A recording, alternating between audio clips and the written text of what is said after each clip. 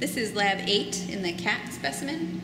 So we've already covered the dog, but we will go over the cat. It's very similar. Um, I will point out a couple things as we go along that may be a little bit trickier in the cat. All right, so the same thing, we're starting up here in the neck. So this is latissimus dorsi for orientation purposes, and this was your omotransversarius. So reflect that stump.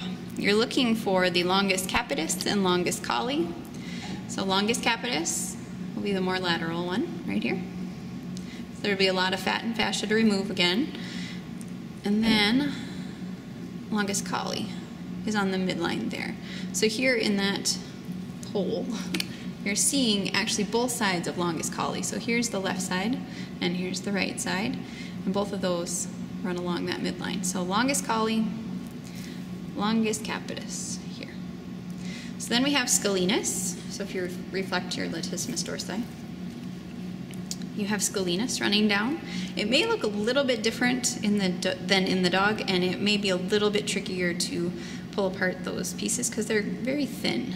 And in the cat, sometimes they tend to shred. So scalenus from here down here, and then there's a little piece here, and then a little piece along this dorsal edge right there.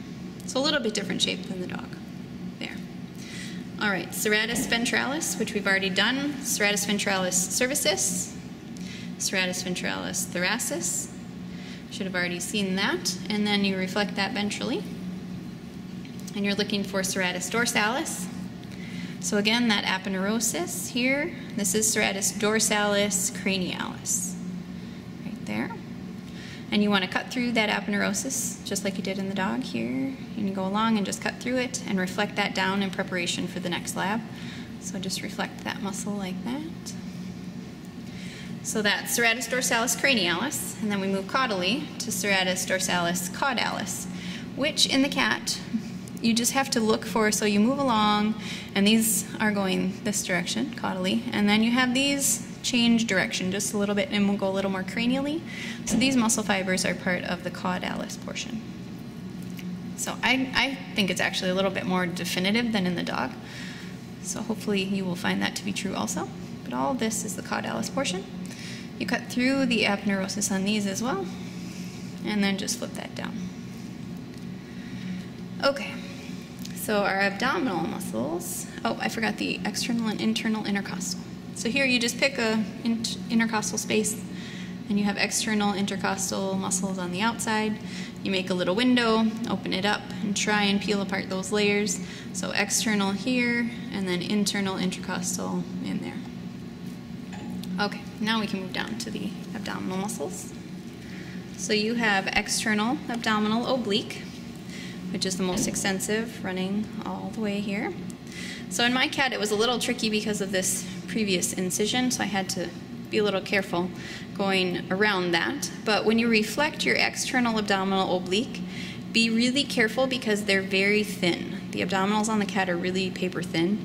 So you just have to try and pick it up in little bits and kind of cut and pick it up and move along slowly and then reflect it down because your internal abdominal oblique will be sandwiched right to that external.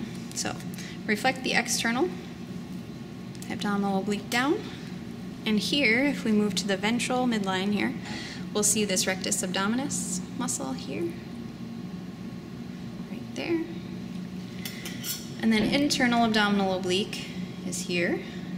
So then you want to cut that along the lumbar origin there. And then very carefully, because again, it's sandwiched to the next layer. So peel up this little paper thin abdominal wall and lift up the internal abdominal oblique and then you have transversus abdominis. So again, I have that hole because of that incision. But here's transversus abdominis there. Okay. So now we move on to that inguinal canal. And so the caudal edge of external abdominal oblique, I'll flip it back up. That caudal edge is going to be the inguinal ligament. So where my finger is, this caudal edge is the inguinal ligament. And you have, in this cat, it was actually a neutered male cat, but we still have the spermatic cord coming through, which is kind of helpful. So in the male, the spermatic cord is covered by the vaginal tunic, which is the fascia surrounding it. And this area right here is going to be your superficial inguinal ring. So where that spermatic cord is coming through the aponeurosis of external abdominal oblique. So superficial inguinal ring. So we'll reflect our external down just a bit and our internal so in the dog, you hopefully, in the male dog, you'll have a cremaster muscle coming off the caudal edge of internal abdominal oblique, but in the cat, we don't really tend to see one. But if it was here, it would be running right along this right here.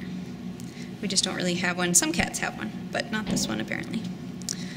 All right, so then we have transversus abdominis here, and then when you are inside the peritoneal cavity here, that will be where you would have the deep inguinal ring. So it's not a distinct structure, but it's where that fascia is reflecting onto the vaginal tunic as it passes through that inguinal canal, if you think of that toilet paper tube again.